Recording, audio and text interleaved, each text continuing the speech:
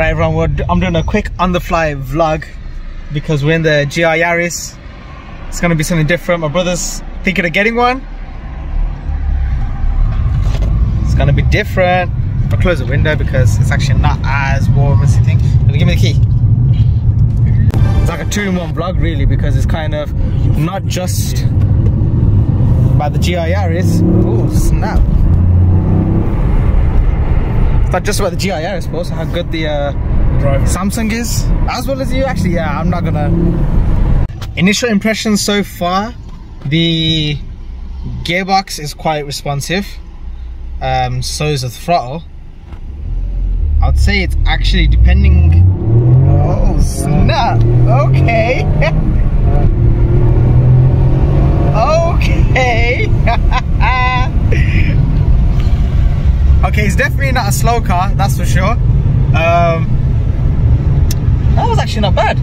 I do feel like your gear shifts need to be matched I, with the I car. I don't drive manuals or anything. I feel like you need to drive the car quite rough and rugged and aggressive to get the best out of it. Um, heel and toe is probably going to be really, really rewarding in this car. My brother, for some reason, he wore Yeezys. Not a good idea for proper driving. I do like the little gauges and stuff inside.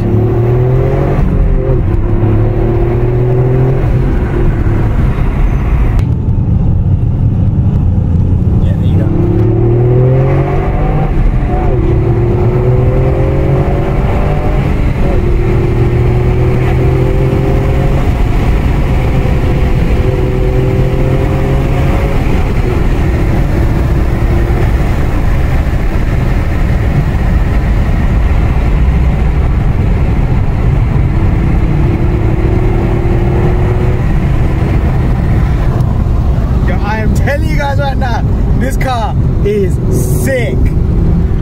This car is fun. Woo. Go left on this roundabout. Got a little bit of a tunnel. In fact, stop in it and do a launch.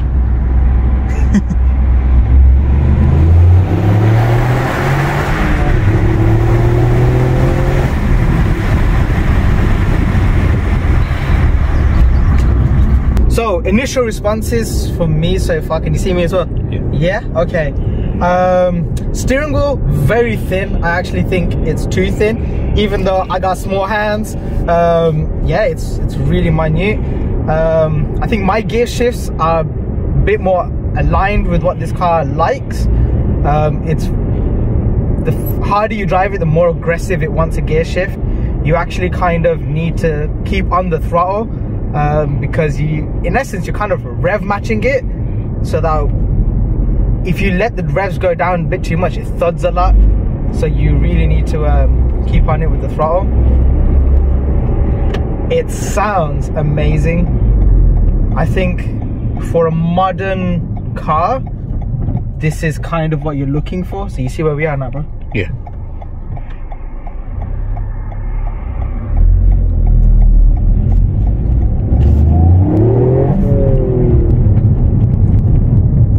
It sounds absolutely amazing. This car, you know what I actually think? You're probably, I don't know if you're gonna agree with me or not on this pair. The dials, they're very basic, but it reminds you of Gran Turismo.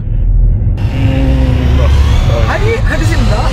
Yes, it does. It's my Gran Turismo. No, no, no, no. I'm not on about like, I know what you mean. You were in like that the, view. you know the, the dials in the Average game. speed zone. The rear view mirror though is a bit funky.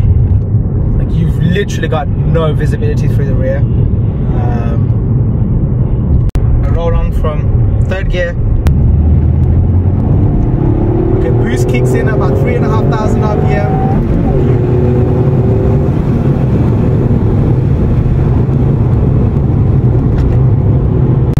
This handling is amazing.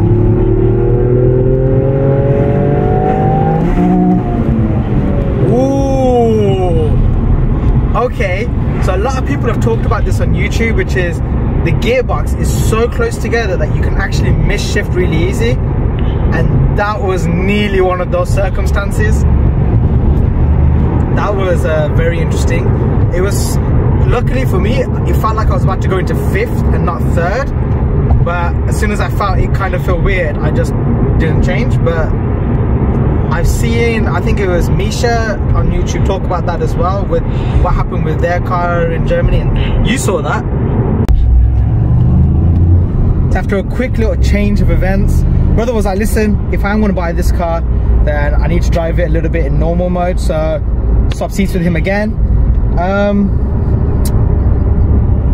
it's nice. I personally didn't feel that different between normal mode and track mode on the streets.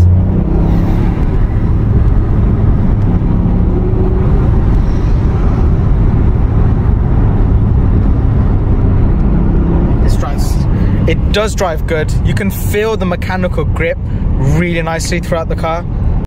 So my initial impression so far on the car is it drives amazing. Um, it's got an immense amount of grip. I think the four-wheel drive, the short um, wheelbase, um, the light body,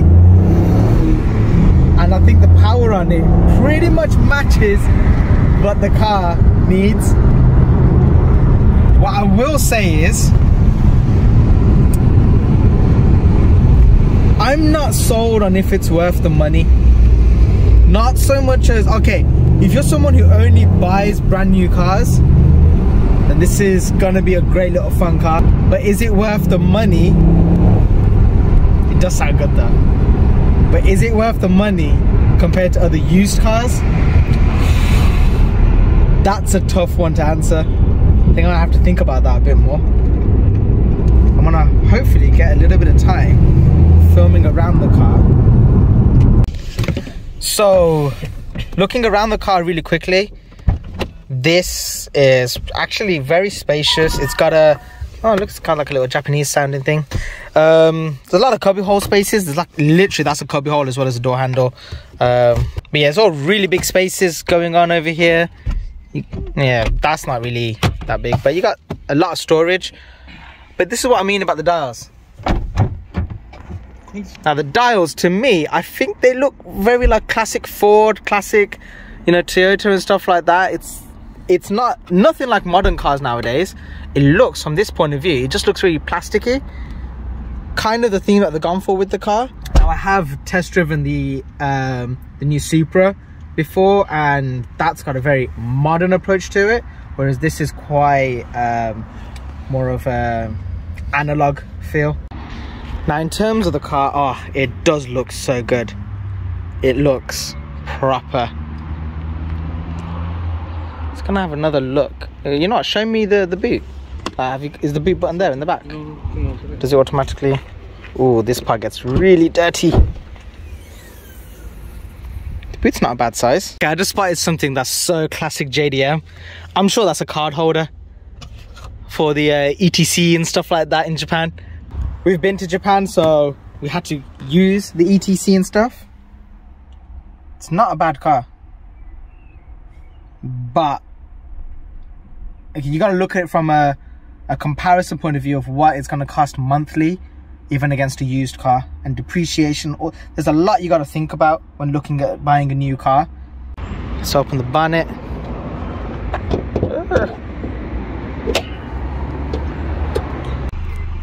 Jeez. It it does look good. Toyota, you have built an amazing car. I just want to say that off the bat because coming back thinking about the car, it's been about a week or so since I've driven the car.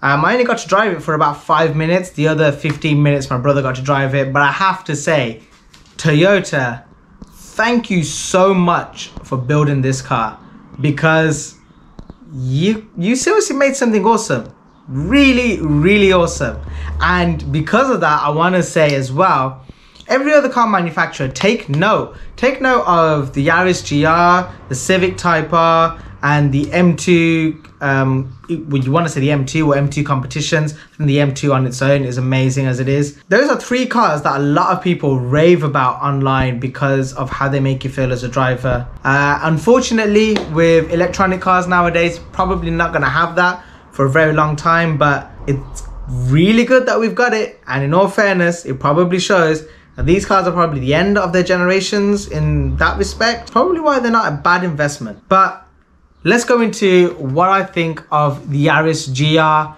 after a week or so of basically wondering would I spend my money on a Yaris GR?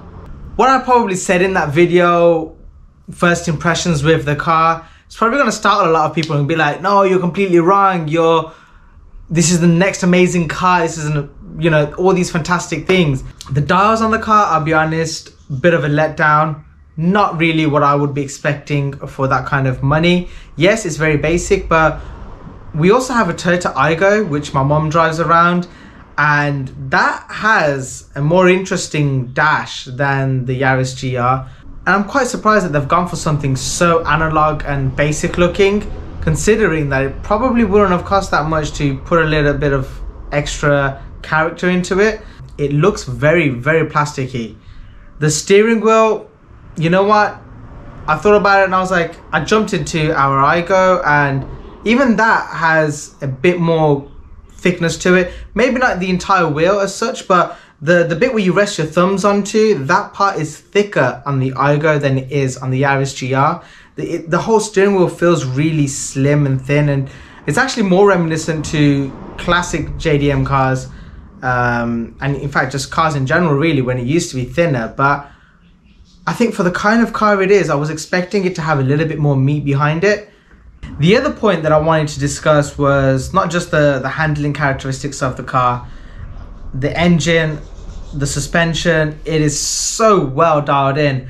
Um, for for for the kind of car it is for the way you want to drive it for the the b-road cruncher that it is that you're just gonna munch all those miles up and put a massive smile on your face.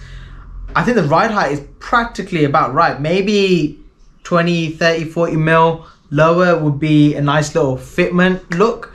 But in terms of road clearance and all those kind of things, the actual rally car feel that you're going for, it's amazing for that. The bits that I don't feel like it's worth the money is because as a brand new car, like I said in the video earlier on, yeah, it's an amazing car. And if you're someone who likes to buy brand new cars, you're going to be happy.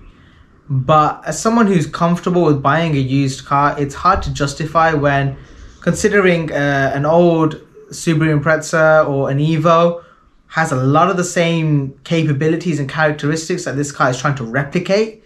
Because you got to remember, this car is really reliving a lot of classic rally car um, heritage I find the Subaru and the Evos to be better value for money because one, they're gonna go up in value regardless.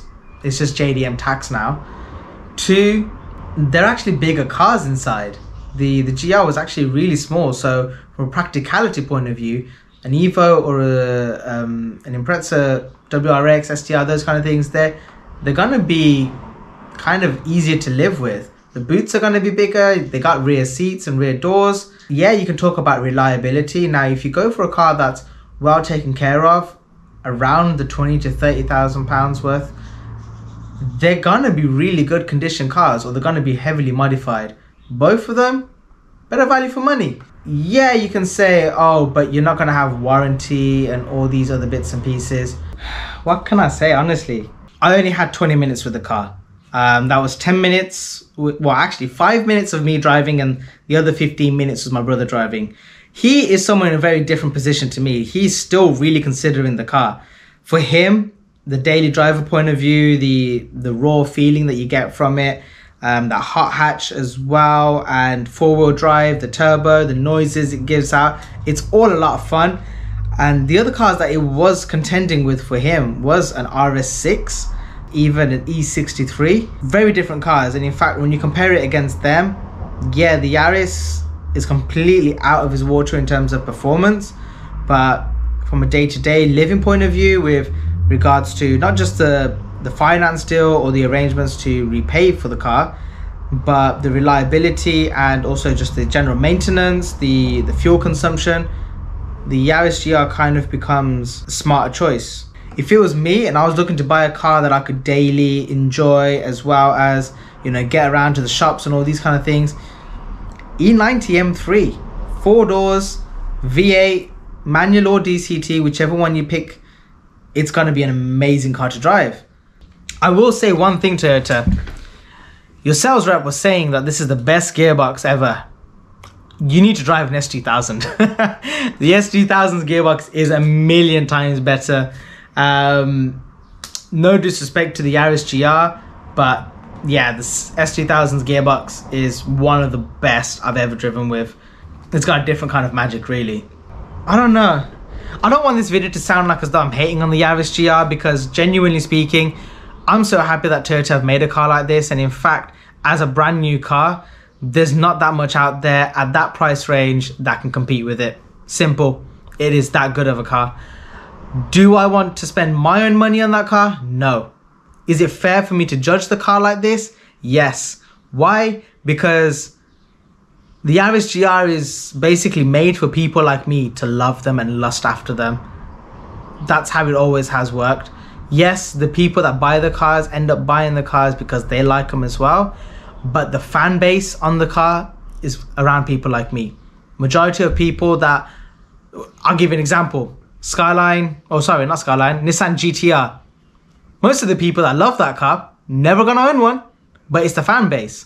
So it's important for the fan base to love the car. And as someone like me who, who wouldn't mind owning one in the future as a used car, these are the things that I kind of feel is important to talk about. You know, the, the Yaris GR, it's, it's got a really weird uh, emotion with me at the moment on one side, I absolutely love what Toyota have done. I love the fact that they've got this ethos behind them. They want to take it back to racing. They want to take it back to building amazing hot hatches. You know, with what they've done with the GT86, the Supra, and the Yaris, that is awesome. Toyota, no, I, I take my hat off to you guys. Seriously, amazing stuff that you guys have decided to do. It's actually quite funny to think about this one thing for the, the Yaris which kind of reflects a little bit on what kind of car it is. It has a manual handbrake, which is going to be great for rallying or power sliding and those kind of things. But at the same time, it has auto blip for downshifts. So it shows that it's kind of catered towards two different types of drivers. The ones that will probably never use the handbrake and they will probably use the auto blip and the ones that will probably use the handbrake will never use the auto blip because they like to drive their cars in a much more raw format. Yeah, I, I love the car. There's just there's just so much with it that does confuse me as to what would I do if I was to try and buy that car myself. Would I spend the money on it? I think I need more time in a Yaris to be honest. I think that's what it's coming down to for me is I didn't get enough time with it to truly fall in love with it. I've just got a first impressions and yeah, I've I've thought about it in the sense of I love the car. I think the car's extremely capable. It's a lot of fun. Would I be able to put my money towards buying it? Nope. Am I financially able to buy it now? Nope. There's other cars that I'm happier with for a similar price that I would rather buy. And I think that's that's where I'm kind of concluding it right now. I love the car. For the price, for a brand new car. Amazing. Would I buy it? Unfortunately not. Would I recommend would I recommend someone else to buy it or at least try it? Yeah. If you want a brand new car, yeah, go for it. But you really have to weigh up what it's going up against. Because my brother's point of view, against an RS6 and an E63, I don't know if it's able to compete against them. But then that's a completely different market the Yaris GR wasn't made to compete against those cars. And I'll be honest with you, my brother's um, wife, my sister-in-law, she doesn't like the Civic Type R, so that's definitely out of the question. But yeah, let's see what my brother decides to do, because if he does decide to get one, well, I'm not gonna complain, because I get to drive that car every so often, and it's gonna be an amazing trip. It's gonna always be a right laugh to drive around in. But yeah, everyone, I hope you did find this video interesting, entertaining, or even thought-provoking in that respect. If you did, please leave a comment down below of what your thoughts are with my opinion on the Yaris GR, as well as what your opinion might be on the Yaris GR. And along with that, please give the video a thumbs up if you found it entertaining or helpful in any way, shape or form. And please consider subscribing to see more from me, not just in regards to the car builds, but everything I get up to with cars might even be more car reviews coming out in the future because, yeah, there's some stuff that I need to make everyone aware of. But for now, I'll see you all in the next video. Peace out. Bye. I guess it's up to my brother now. Does he get one or does he not? Or does he go for one of the other cars? It's an interesting one. It's, an, it's a very fortunate predicament to be in.